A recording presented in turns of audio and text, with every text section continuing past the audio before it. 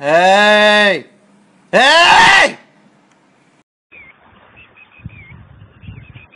ਕੋਈ ਨਾ ਸਮਝੀ ਭੁੱਲ ਗਿਆ ਤੈਨੂੰ ਤੂੰ ਅੱਜ ਦੀ ਦੇ ਵਿੱਚ